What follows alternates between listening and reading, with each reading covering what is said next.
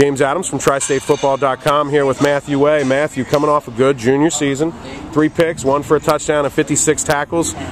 But it's April right now and you're in the workout room getting ready for 2013. Talk about what you're doing right now in the spring to make strides to make those numbers even better for next year. Uh, we've just been really working hard, uh, getting a lot stronger and faster. We've been doing a lot of quickness drills and stuff to try to get our feet a lot faster able to break on the ball better, probably get some more uh, turnovers for next year. Turnovers always good, but the the strong point of the defense last year was just absolutely shutting teams down. You're going to lose some guys up front this year. Obviously, Sam will be back in the middle. Just got done talking with Austin, who's a great guy in the secondary as well. Talk about what your expectations are for this year. One, to better last year's effort defensively. Two, you know what you expect with the turnover and, and how that's going to play out.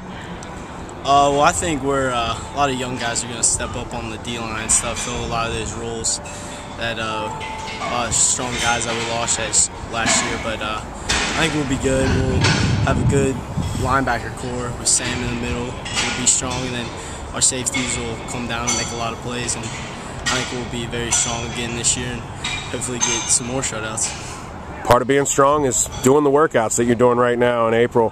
What motivates you on a Monday in April to come out here and work out, knowing that football season's still four months away? You're kind of in that midpoint point between last year ending and next year. What's what's driving you to, to get it done here on a Monday?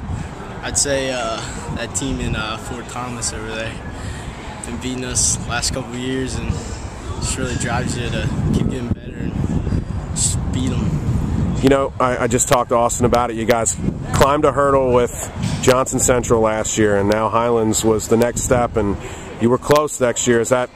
I mean, it, clearly it's, it's dominating. I even see the sign in there asking if you worked harder than a bluebird today. I mean, what what is it? You know, you know, what is it that you feel like you guys have to do to get over that hump? Just, I'd say, uh, get more turnovers and limit them. I think that was a big, big thing how we lost last year, but I think we're just to keep working hard, and I think we can. I think we have a good shot this year to really knock them off. When you get ready for next year, you know, with the uh, with the new guys up front on the defense, do you expect teams to attack you more through the air, more on the ground, or do you even care how they're going to come at you? You just go out there and get ready to play some ball.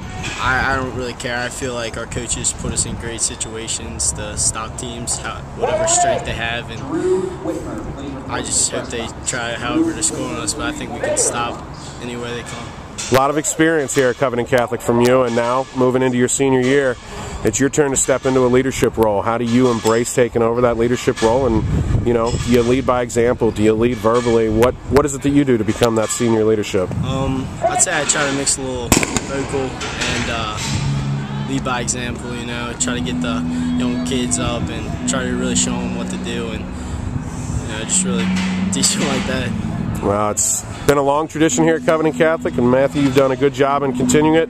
Thank you so much for your time. Hey, good luck not only coming in August, but getting through the workout season without getting too bored and staying focused. Thanks a lot, guys. That's Mathew Way from Covington Catholic.